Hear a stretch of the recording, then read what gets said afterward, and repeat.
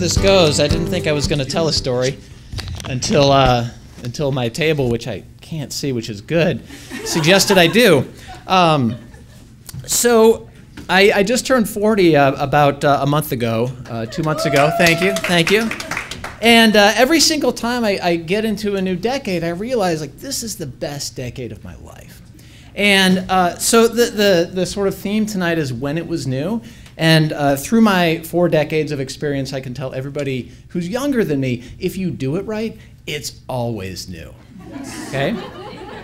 Now, in my life, I think I've had basically two, uh, two uh, driving motivations. And for the longest time, I thought, I can't have both. But 10 years ago, I realized I could, and I want to tell you that story. So, uh, in, in, the latter days of my high school career, into college, I did a lot of stupid stuff. We're on the internet, so I'm not going to say exactly what I did, but I think you get the idea. And it wasn't sex, unfortunately. there were many times I should have died. If I were ever to believe in a God, it was at that time that I thought somebody is looking out for me. So I go to college with the stated intent, explicit, that my first year is going to be devoted completely entirely to partying.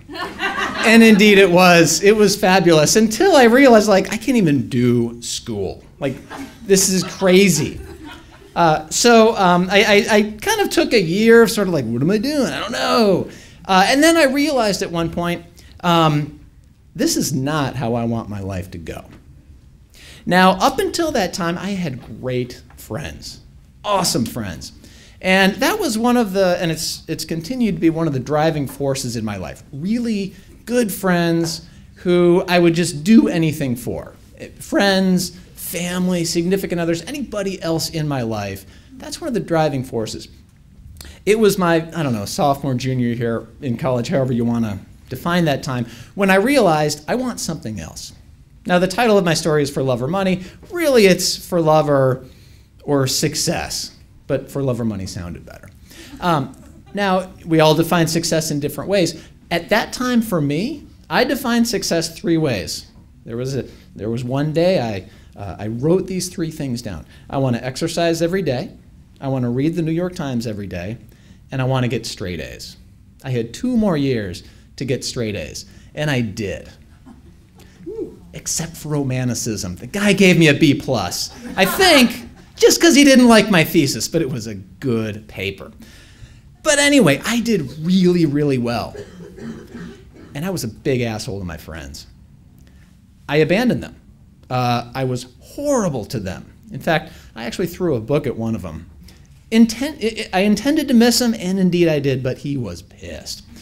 Uh, justifiably so. I was not, I, I was great in the success department. I was a horrible friend. Looking back, I don't think I would have done it any other way. My life was going in such a horrible way that a paradigm shift had to happen. I, I don't know how else I could have done it. Um, but I did it. And, and I, am proud of that. We're not perfect. I certainly wasn't, and I certainly am not now. But I did it. And then I went on to you know, do some other stuff for a while. And then uh, about uh, uh, 11 years ago, I thought, well, you know, what am I going to do with my life? You know, I've, I've, got things pretty much in order. I'm healthy, you know, I'm happy. But what am I going to do with my life? I decided to go to law school. And I was really excited about it. I knew it was the right choice. And before law school, I thought, hmm, I think I'll be editor in chief of the Law Review. Now, anybody who knows anything about law school knows you can't just decide to do that.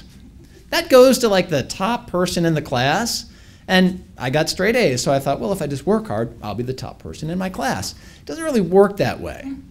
Uh, and so I go to law school, I'm ready to go. I'm in the front row. I'm excited. Like the success portion of my life, it is going places. Maybe even the Supreme Court, who knows? so I sit down in the front row. I've got my book open, I got my laptop. I am ready. This guy sits down next to me. Now, at this time, I had had the SETI project downloaded to my computer. Uh, you can uh, help NASA analyze uh, uh, um, uh, sort of radio waves coming in from outer space to detect any patterns, and it's the search for extraterrestrial intelligence. Uh, so you can download this program and your computer can help analyze these packets of data. Whatever, I thought it was cool. I heard about it on NPR. so I downloaded it. The cool thing was the screensaver they gave you was this really cool Star Trek looking thing. I don't even know what it meant, but it was cool. So I, I had my laptop open, and uh, the, the SETI project thing comes on, and this guy sits down next to me. He's like, Oh, that's awesome. You have the SETI project. I'm like, yeah, I do. Thank you. I'm, I'm, I'm busy being successful now. Thanks. He says, That's so awesome. When I was in college, Russell, my, my roommate, and I, we competed to see how many, how many packets of data we could download. I said, That's great. Thank you. He's like, Yeah. But then Russell got two computers and I only had one. So, like, he just, he totally blew me out of the water. So I abandoned it. I thought, This is great. This guy is totally ruining my plans. So I figured, well, whatever. Next class, he'll forget about me. Sure enough, he sits down right next to me. Throughout that whole day, he sits down next to me. The next day comes, I thought, all right, 24 hours have passed, whatever. He, he's going to forget about me. He sits down next to me, opens his computer, and he says, Look, Steve, I got the SETI project too. Now we can analyze packets of data together. And I'm like, okay, who is this nerd, first of all? he doesn't look like the friend I planned on having in law school and he's not going to help me become editor in chief of the Law Review. Oh, his name was Michael. We go on. The next day, he sits down next to me. He's talking about I don't even know what, dorky stuff. but then the fourth day happened. I'm sitting there. He sits down next to me. Hey, Steve. Hey, Michael. How you doing? I'm good, Michael. How you doing? He's like, man, you know, I feel horrible. Feel really horrible. You know, I was fucking your mom last night and I forgot to pay her.